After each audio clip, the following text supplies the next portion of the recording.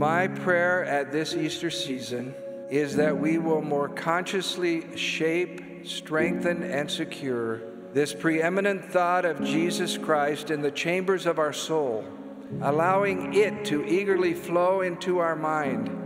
guiding us in what we think and do, and continually bringing the sweet joy of the Savior's love. Filling our mind with the power of Jesus Christ does not mean that He is the only thought we have, but it does mean that all our thoughts are circumscribed in His love, His life and teachings, and His atoning sacrifice and glorious resurrection. Jesus is never in a forgotten corner because our thoughts of Him are always present, and all that is in us adores Him. We pray and rehearse in our mind experiences that have brought us closer to Him we welcome into our mind divine images, holy scriptures, and inspired hymns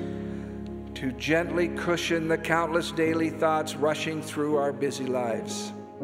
Our love for Him does not shield us from the sadness and sorrow in this mortal life,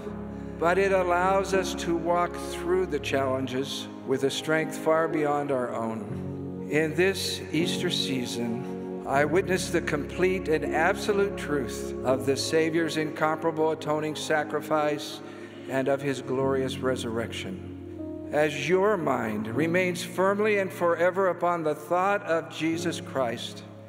and as you continue to focus your life more fully on the Savior, I promise you